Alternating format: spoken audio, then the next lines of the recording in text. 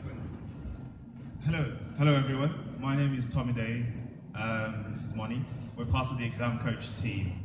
So I'm an A&E doctor, and recently I did an exam. And we know from the Royal College that 53% of people fail that exam. The biggest frustration I felt whilst I was prepping was my day-to-day job felt removed and detached from the exam preparation.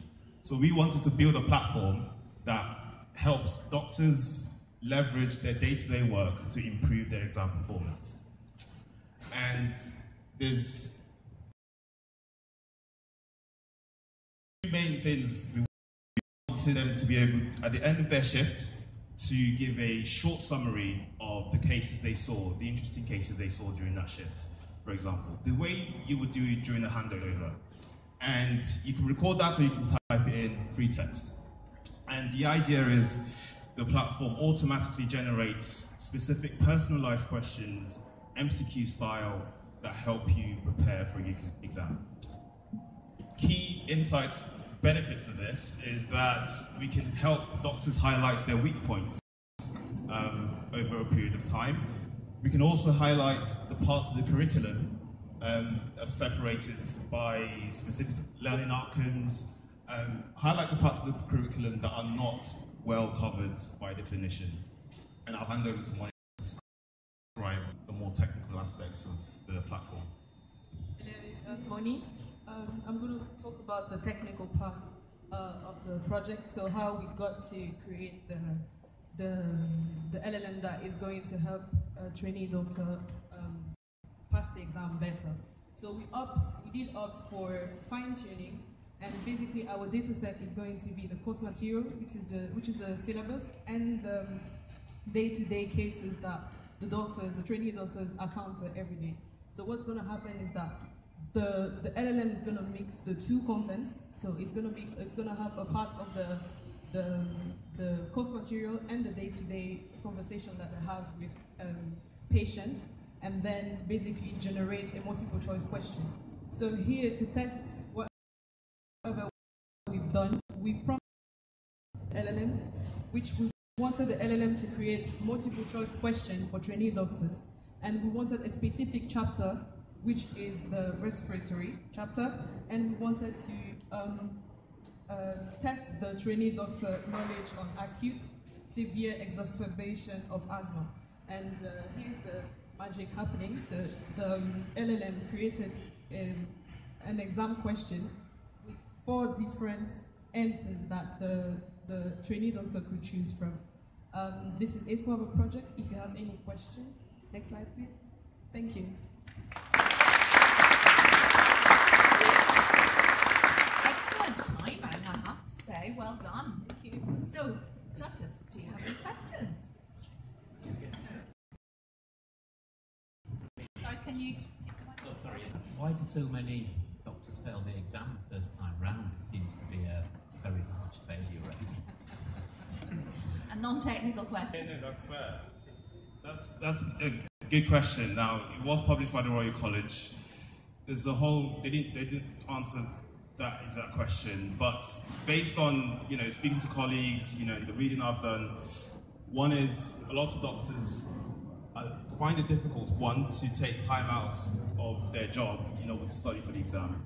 I think the stats was about 60% don't actually get study leave to do the exam.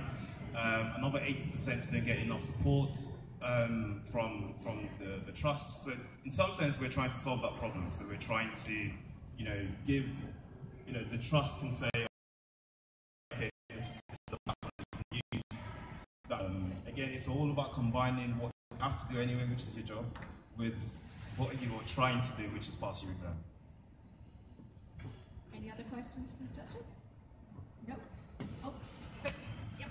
Uh, based on your research, why is it that, uh, what is the most effective way of learning and when do you choose multiple choice? Or is it reflecting the nature of the exam? Yeah, so basically from what we looked at, because we've got two doctors in our team, and we looked at the, the question, the exam question samples, and most of them, there's a lot of multiple choice. And this is just one aspect of it. You can ask for short answer questions.